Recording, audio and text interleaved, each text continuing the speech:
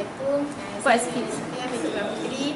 Uh, Okey, uh, hari ni uh, produk yang saya buat ialah uh, beg, itu beg jeans. Uh, beg ni kira beg kat belakang lah. Uh, uh, macam mana tercetus sesi nak buat ni kan kita perempuan biasalah nak pergi travel, nak pergi melancong. Kita kena ada beg yang boleh kita bawa semua benda. Macam nak tahu barang make up ke, nak tahu uh, charger ke, nak tahu phone ke, apa-apa lah yang kira macam barang-barang private kita. Lepas tu, uh, kele, kelebihan beg ni uh, uh, mudah ke mana saja. Ha.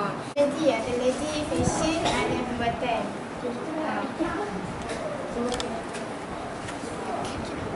Okey. Ha, okey.